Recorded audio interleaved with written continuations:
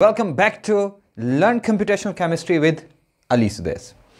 Let's talk about the Fukui function. So we're going to talk about Fukui function. What Fukui function is and why do we use Fukui function?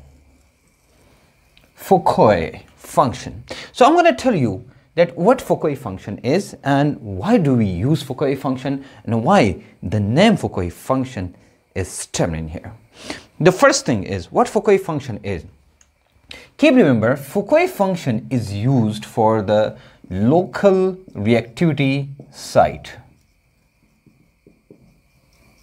Local reactivity site. Okay, so we, if we want to identify the local reactivity site, what do you mean by the local reactivity site? There are two kind of local reactivity sites. One is nucleophilic site, nucleophilic site, and the other is electrophilic site. If you want to find the local reactivity site, that is nucleophilic or electrophilic electrophilic, then the Fukui function is used. The Fukui function, you know that it is you actually it involves the electron transfer electron transfer. For example, there is a nucleophile, definitely the electrons will be transferred from the nucleophile to the electrophile. And when there is electrophile, the electron will transfer to the site of electrophilic. Now, the electrophilic site will gain the what? The electrons. Now, the definition is like we represent the Fukui function with F and R with this one, and we can define is like the Fukui function is equal to, we take it is like this, R divided by delta N. So the definition is, you like you can define from here. We can define as the Fukui function is denoted by F R, and it is defined as the differential change in the charge. So the differential change in electron density, this is electron density, due to infinitesimal change in the, in the number of electrons. So now we, the, this one is the electron density, electron density and the n in here n in here is the number of electrons this is number of electrons okay? So we can write the n as the n is equal to rho into r dr. This is we can define as. Like this is the Fukui function. The Fukui function now you can see I will say the definition again and you can understand what the definition is okay so this is the fr we can represent the Fukui function with this one and then you can say that the differential change the differential change in the electron density due to the infinitesimal change in the number of electrons is called the Fukui function now, why is it called the Fukui function? So this is called the Fukui function as the electron, you know that the electrons are added, are added or removed. So when the electrons are added or removed, they go to the Fukui function. Fukui, and you know that the Fukui function means they go to the frontier orbitals. And no, no, what the frontier orbital is? Do you know what the frontier orbital is? So the, the frontier or Fukui orbitals, the, or they are the HOMO highest occupied molecular orbital or the LOMO lowest unoccupied molecular orbital. Got it? So this is actually the Fukui function. The Fukui function, the Fukui function actually identifies the local reactivity site that is nucleophilic or electrophilic site. So the of molecules the local reactivity side of the local reactivity side that is electrophilic or nucleophilic, electrophilic or nucleophilic site of molecule in a reaction where the electron transfer is involved. Okay, so in the reaction when the electron transfer is involved, we need these two sites like nucleophilic for the reaction and the electrophilic site for the reaction.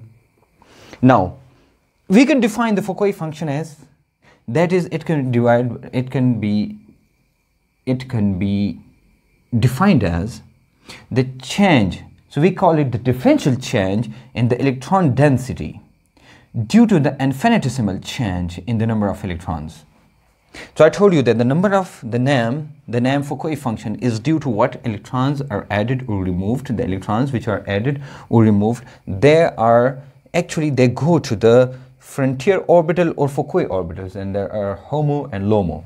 Now you know that the that the this one is electron density and this is the number of electrons which is equal to what? Which is equal to this one. N is equal to rho r dr.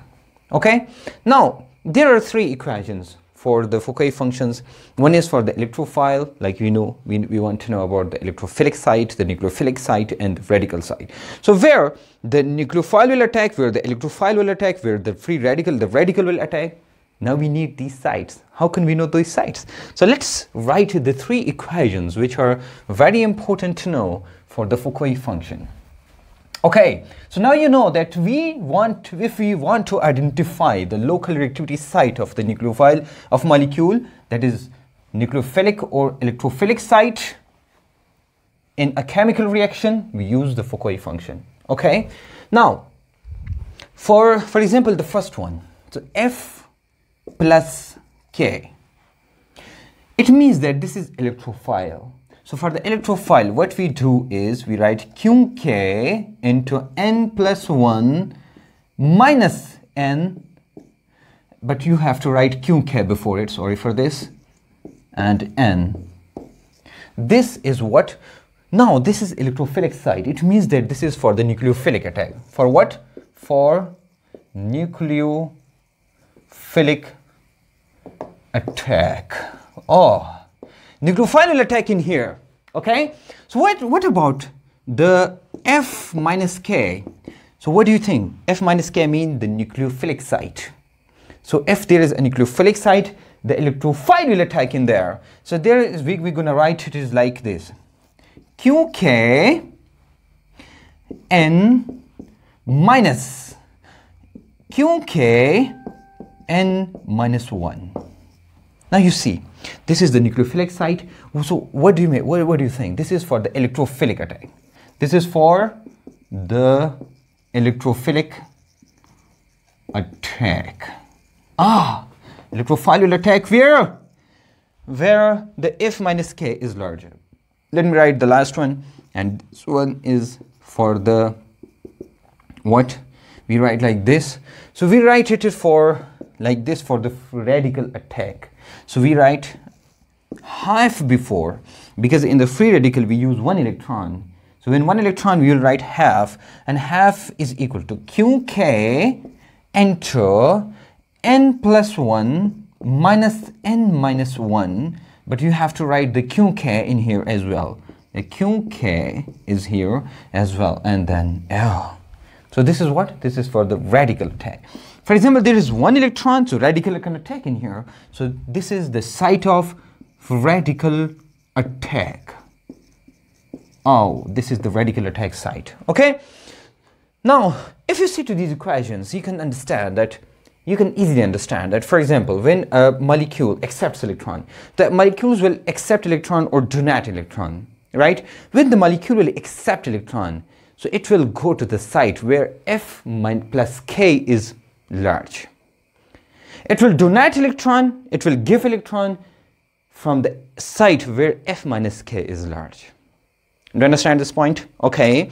So when a molecule accepts electrons, the electrons tend to, the electrons tend to, tend to go to the place where the F plus K, this place is large.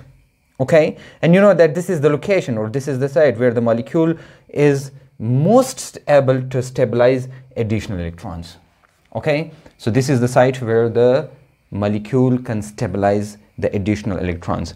And when there are, for example, similarly, a molecule uh, which is susceptible to uh, electrophilic attack. This is for the electrophilic attack. So it means that it will give electrons to that electrophile. So the electrophilic attack. So do you know that the it will go to the place where F minus K is large. So you know that Why? Because F minus K is large and there's the, the regions where the F minus K is large. So this is the region where removal destabilizes the molecule the least, right? So these are the three equations you have to understand. If you want to clear more your concept, so I'm going to write one that uh, uh, we're going to take a molecule with uh, an atom and n number of electrons and then you can understand that F for example the same thing I'm going to write it in here for a molecule M and having electrophilicity. For example I want to write the first one electrophilicity. Electrophilicity for what? Electrophilicity for example of an atom. For example we have an atom A sorry an atom A so we have an atom A in a molecule M in a molecule M and they have the electrons, number of electrons N. The same thing we're going to write, but in here we're going to write, for example, we're going to write for the A, we'll write F plus A. Instead of QK, in here we were going to write the A. And then move towards the PA, N plus 1 minus N. But you're going to write the PA in here as well. Now, this is for the nucleophilic attack because the electrons will move towards the go toward the region where the F plus A is maximum. Now for the F minus A, we're going to write the same thing. For example, N minus PA, N minus 1, and this one. This is for what? This is for the electrophilic attack. So the electrophilic attack will be at the site where F minus A is maximum because it will destabilize that molecule least the, by the removal of electrons. Okay, what if, what about the free radical? If you want to go for the free radical, you're going to write the same thing, A is equal to, we're going to write this not thing for that, and then we're going to write the half. Maybe you remember, before we write we wrote the half so we're going to write the half and when we go write the half it means that we will write pa n plus 1 minus PA n minus 1 and then we're gonna this whole will be half okay? So this is for what? This is for the radical attack. This is for the uh, electrophilic attack and this is for the nucleophilic attack. This is all for the this is all about the Fukui function today we're going to talk about the Fukui function how can you do it theoretically how to how can you do it computationally I'm going to take a cup of tea, coffee, and then we're going to talk about something else too. See you with the next video. Allah Hafiz.